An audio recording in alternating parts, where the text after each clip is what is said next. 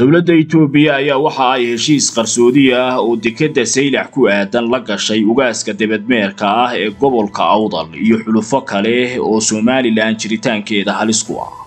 Waana qorshaha keliya ee isku hallaynta iyo rajada geliyey abiy axmed taasi oo uu ku dhiiraday inuu sheego xeelad hadduu ku waayo xoog inuu ku qaadayo dekeddan dhammaanba mas'uuliyiintii ka soo jeeday gobolka awdal ee ku jiray xukuumadda somalilan ayaana waxa ay iska xaadiriyeen magaalada bowrame ee xarunta gobolkaasi haddaba awood intee leeg ayay ku leeyihiin isbaahaysiga mucaaradka somalilan ku ah ee doonaya inay gobolkaasi goostaan deegaankan. Yaa loo daba fadhiisanayaa dekedda saylac deegaan ahaan iyada oo wakhtigan xaadirka ah ay si xooga ku doonayso dowladda etoobiya qorshaha halista ah ee uu gacanta ku hayo ugaaska qaybo ka mid ah gobolka awdal iyo saddex qodob oo aanu damaca etoobiya ku suuro gelin ayaynu warbixinteenna daboolka kaga rogaynaa inta aynaan u gelin hamiga dowladda etoobiya iyo hiigsiga dad mucaarad ku ah somalilan oo doonaya gobolkaasi inay goonni u goostaan. Ayaa waxa aynu ku bandhigaynaa warbixinteennan sidee loo kala degaa gobolka awdal yaase wax laga weydiinayaa dekedda saylac ee damaacigu uu ka galay dowladda etoobiya khariiradan oo ah tii ugu dambaysay ee gobolka awdal laga helo ayaa waxa ay muujinaysaa deegaan ahaan sida loo kala dego.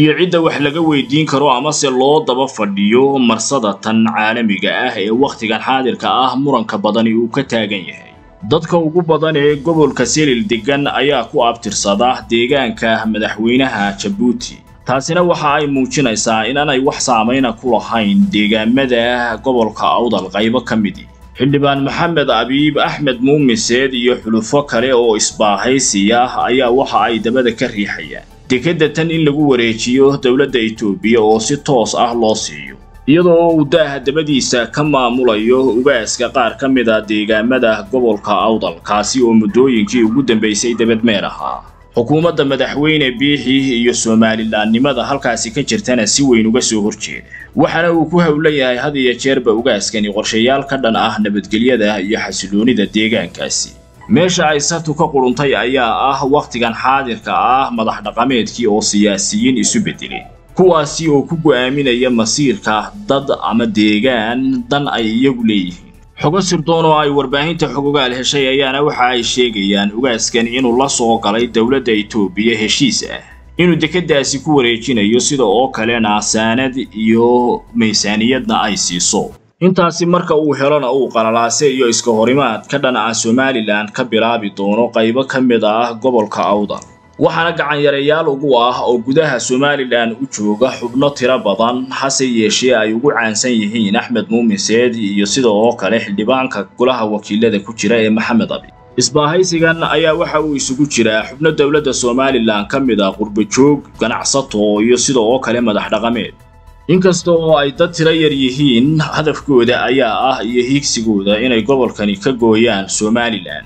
waana sababta damaca etoobiya uu isku hallaynta weyn wakhtigan xaadirka ah uu haysto ee ra'iisul wasaare abiy axmed uu afkiisa u soo mariyey inuu xoog ku qaadayo. Maadaama uu dadkii deegaanka qaybo ka mid ah gacanta ku hayo sida oo kale heshiisyo iyo ballanqaadyo waaweynina ay dhex mareen. Hase yeeshee saddex qodob oo damaca etoobiya is-hortaagaya ayaa jira waxaana kowka ah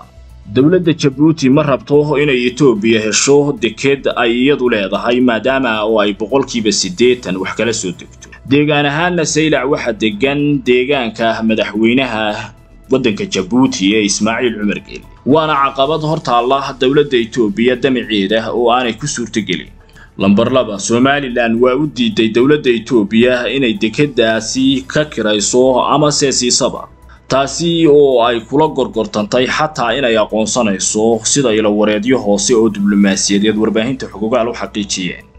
Hase yeeshee xukuumadihii kala dambeeyey ayaa ganafka ku dhuftay dalabka dowladda etoobiya